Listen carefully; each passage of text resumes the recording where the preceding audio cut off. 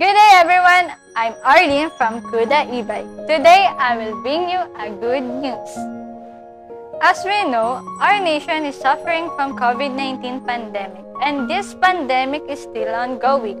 Many companies closed, many of us lost our jobs, and many families facing the financial difficulties.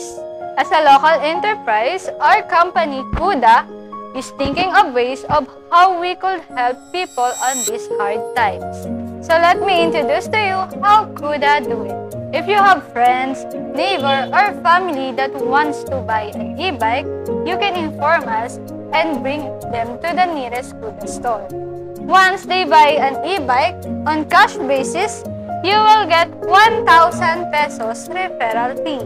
Once they buy an e-bike on installment basis, you will get 500 peso as referral fee.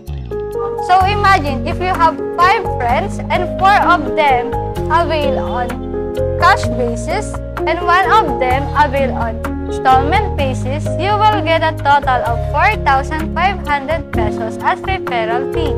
So what what are you waiting for? Work for yourself and earn more.